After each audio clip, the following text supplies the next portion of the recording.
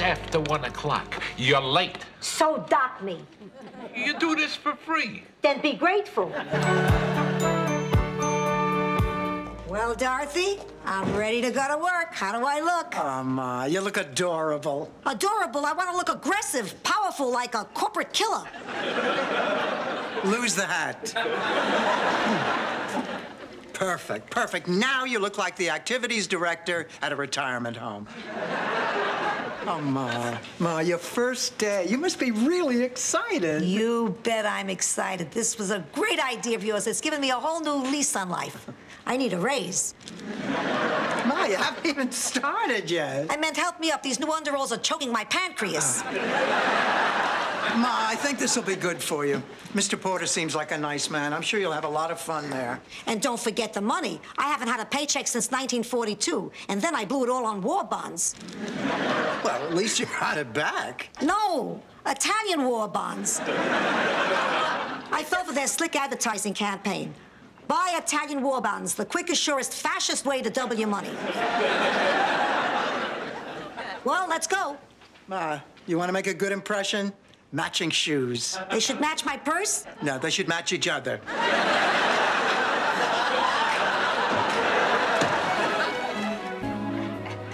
Ma, look at this place. It's lovely. Don't get any ideas, pussycat. I'm not getting any ideas, Ma. You're scheming. Remember Shady Pines, Dorothy? Honest Ma, this is the way to the new Dairy Queen. Miss Zbornak, right on time. Ah, Mr. Porter, I'd like you to meet your new activities director, my mother, Sophia Petrillo. Activities director? Oh, uh, surely you remember the conversation we had. Let's do this for me, you promised. activities director? Oh, of course I remember. nice meeting you. I'm sure you'll get along well with our, uh, our little gang. Hi, everybody. I'm your new activities director, What's your name, honey? Sophia. Sophia, move it. You're blocking the TV.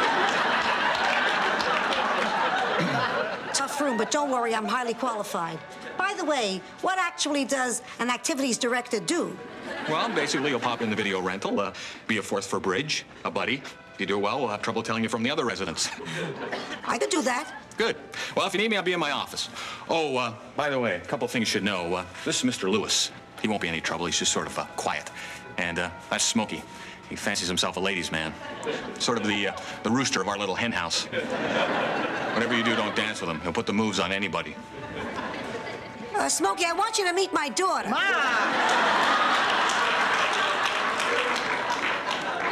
Now, I have to go to work, and I don't want you to worry about me. So I'm going to say to you what you said to me the very first day you dropped me off at school.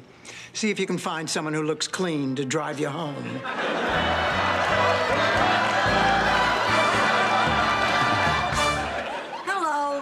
Oh, Ma, I'm glad you're here. I got a call from Mr. Porter. He thinks you're pushing the folks at Cypress Grove too hard. Big deal. One little dastardly drop marathon. It only took 10 minutes. And what's this about their staying into the night doing homework? A lot of them sit around waiting for their kids to write. So I said, why don't you write to our lonely servicemen instead? I mean, we older folks have to exercise our minds too. And don't you forget it, Gloria. Ma, Gloria is your daughter in California. Uh, I, I knew that. A mere dramatization to make my point, uh, pal. Look, Ma, I know that you're excited about this job, It's but... more than a job, Dorothy. That's it, Dorothy. When I see them, I see me. Don't you understand? Have you ever seen what happens to a person when their brain is allowed to disintegrate and their minds turn completely to mush? Hey,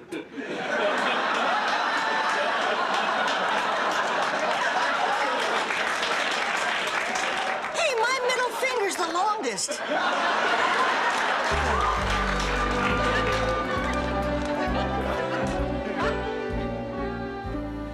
Mr. Porter, I came as soon as I could. Miss Zbornak, I'm glad you're here.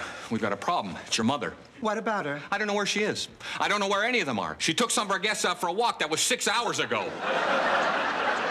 Have you called the police? Oh, sure. I'll tell them to be on the lookout for a bunch of old people in Miami. There's a lead.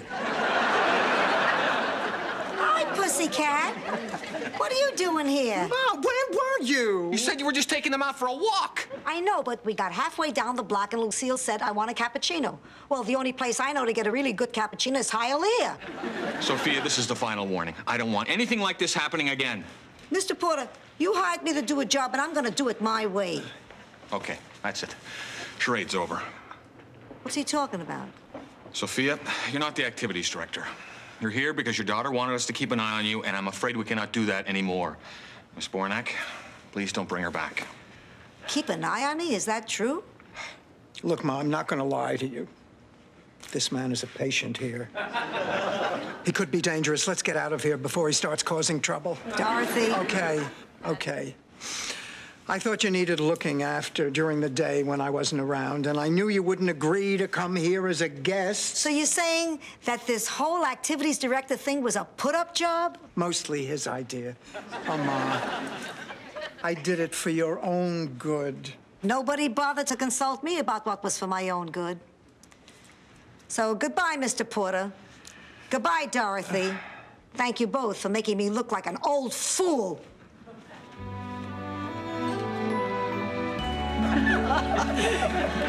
Oh, great, great party, Sophia. But where's the junk food? I've got a great idea for free pizza. Let's call up that 30-minute pizza place. Tell them we're a bunch of college kids. And when the guy gets here, one of us grandmothers will open the door and say, what took you so long? Oh, it's great to have you back, Sophia. It's good to be back.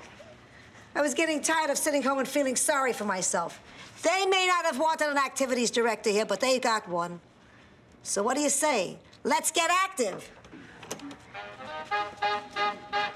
Hey, Mr. Lewis, would you like to dance?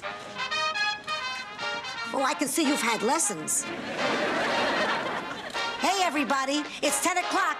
Do you care where your children are? No! You put your right foot in. Come on, get them in, get them in. You take your right foot out. Let's go, let's go.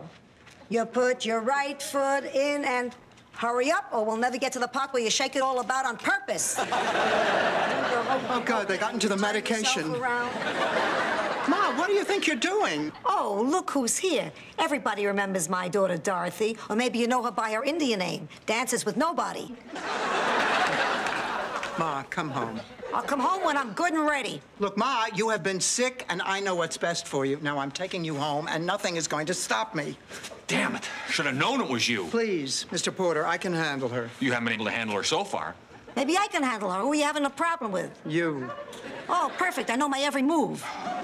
Look, you people are up way too late. This party's over. Everybody back to bed. Let's go. I danced tonight. First time in 25 years.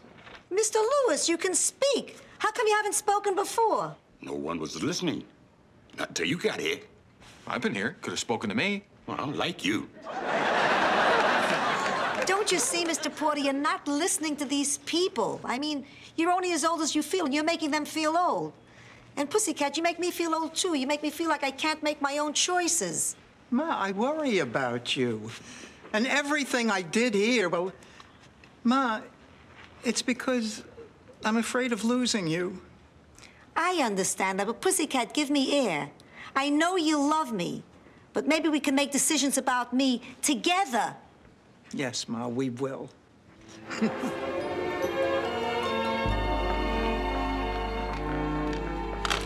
It's after one o'clock. You're late. So dock me. You do this for free. Then be grateful. Anything happening? Yeah, we got three in surgery, two in x-ray, and you have to deliver these on your break. In your dreams. I'm a sunshine lady, not a teamster. Now get the hell out of here and let me do my work. Oh, uh, one more thing. Your boyfriend was looking for you. Sam? He wheeled himself out here just to see me? Yeah. I don't get it. He must see a side of you that's hidden from the rest of the world. like the dark side of the moon. Just jealous because you know you can never have me.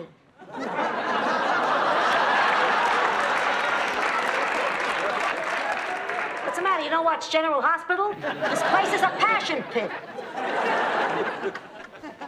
Any flowers for me today? No. Are you sure? The name's Leonard. I know your name. You ask me every day if I have flowers for you, and the answer is always no. Oh, wait a minute, wait a minute. I, I, I made a mistake. There are flowers for you today. Really? Which one? All of them. And the balloons, too. There's no one here to deliver them right now, so you leave your walker here and just wheel these to your room. Oh, thank you. No, thank you. Hi, Sophia. Sam, how are you doing? I'm feeling real good today. I know your strength's coming back. You wheeled yourself all the way down the hall. Excuse me, I'd like to check on my husband, Mr. Carp. Prostate surgery? Nothing yet, but he'll be fine. I went through it myself 20 years ago. You had prostate surgery? What do I look like, a cross dresser? My husband had the surgery. I was the one who went through it. Oh, boy, what a day. What happened, Ma? Butch and Sundance steal your seat on the bus? I had a miserable day at work. That stupid manager docked me a half a day's pay because I said hello to the customers. You're not allowed to say hello to the customers? Not at Pecos Pete's Chow Wagon. You have to say howdy. As a matter of fact, you have to say howdy, partner. How about a saddlebag of fries with that ranch house burger? I don't know why. It doesn't trip naturally off my tongue. Sophia, they took half your day's pay just for that? This manager is a shark. He's bucking for supervisor. He told Mildred and Edna they could only take 10 minute bathroom breaks. Hey, Ma, that's not unreasonable. Please, they're 85 years old. It takes Mildred 10 minutes to roll down her stockings.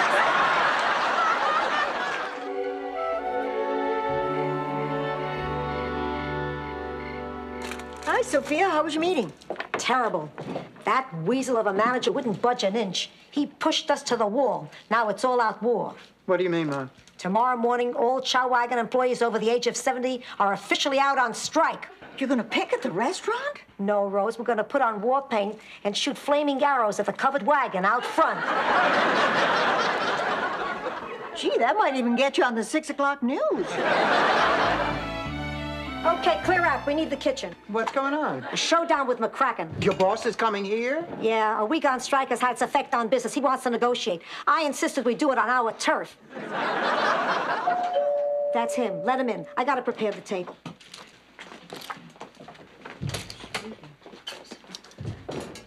Why are you doing that, Sophia? It's a power move. The three of us against one of him, and I get to look down on him. Ma, Mr. McCracken's here.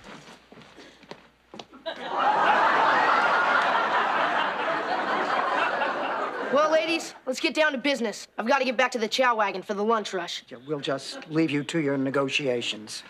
Before we go, can we get you some milk or some double stuffed Oreos? No, thank you, ma'am. Boy, he's tough. Have a seat, boys. Look, I've read and reread your list of demands. Wait, McCracken. Before you begin, I want to tell you something. I'm no novice when it comes to major negotiations. Oh, really? Let me tell you a story. Picture it Sicily, 1922. An attractive peasant girl who has saved her lira embarks on a glorious vacation to a Crimean resort on the Black Sea. For weeks, she frolics at this seaside resort and enjoys the company of many young men, all of whom adore her. All of them? Shut up and I work alone. All of them. When it's time to return to Sicily, three different suitors beg her to stay. But she can't decide who to choose, so she chooses none of them.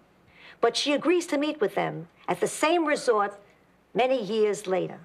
To her trio of suitors, that eventful gathering was referred to as Rendezvous with Sophia. But to the rest of the world, it was better known as the Yalta Conference. You expect me to buy that? Look, the only reason I came over here was so you wouldn't cause a scene at the chow wagon when I fired you. Fired us? You heard me. And no story you could tell is gonna change my mind. Not even the one we could tell your father about how his car got dented while you were doing wheelies and not while it was sitting in the parking lot? You wouldn't do that, would you? Hey, she's your grandmother. Has she ever lied to you? Hey, everybody. We've got some great news. We found a place. It's absolutely perfect. It's near the beach, it's reasonably priced, and it's just the right size. Ma, that's great. We're so excited, we can't wait to show it to you.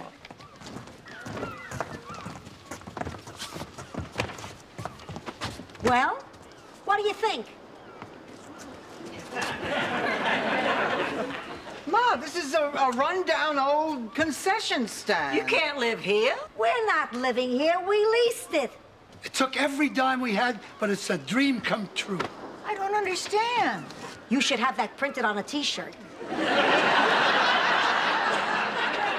We're opening the old business again. A million dollar idea deserves a second chance. Ma, come on. You're both over 80. Starting a business is hard work. Yeah, for amateurs, but we've already done this before.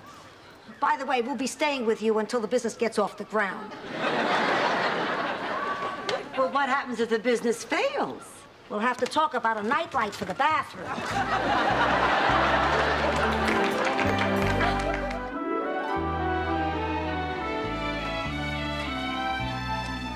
Max, put the paintbrush down a minute. Taste this pizza. I want an absolutely honest opinion. I'm dying. Yeah? It's gorgeous. Yeah? Perfection, like velvet in my mouth. A masterpiece, a Picasso with mozzarella, a Rembrandt with tomato sauce. I thought it needed more salt. And garlic. It's a little flat. Oh, wow! Look at this! Boy, the place is really coming along. Boy, I'll say it is. I have to give you two credit. It looks like it's really gonna happen. Why shouldn't it happen? I know the pizza business like the back of my hand. I never noticed that before. What do you think it would cost to renew something like that? Let's talk about it at home. Come on, it's getting late. Let's get going. We have a few more hours of work here. Oh, Ma, you're overdoing it. We're fine. Besides, we want our grand opening in time for the big beach festival this weekend. Sophia, it's getting damp and chilly out here. You're gonna catch yourself a cold. Please, I haven't had a cold in 40 years. This is the worst cold I've had in 40 years. My back is killing me. I feel dizzy and nauseous. Every joint in my body feels like it's on fire. Boy, you really caught a nasty bug. Please, I'm 84 years old. I feel like this every day. Never fear, Dr. Rose is here. I made you both an old-fashioned St. Olaf tonic, guaranteed to get you back on your feet and put hair on your chest. That's the one nasty side effect they could never figure out. I'm feeling better. I think I'll go check the stand. The big beach festival is this weekend. We have to be open for that. If we don't make some money, we'll lose our lease. Max, it is out of the question. She's right. We're too sick. The dream is ended. It's over. It's a dirty, rotten shame we couldn't find somebody who could find it in their heart to help this absolutely adorable old couple fulfill their dream of a lifetime.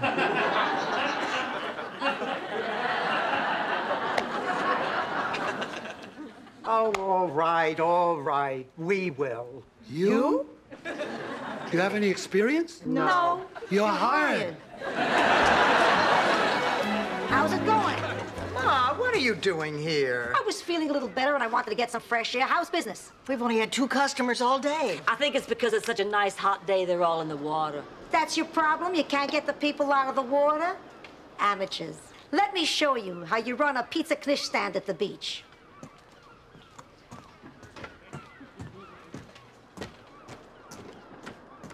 Shark! Shock! Shock! Now they're out of the water, start selling.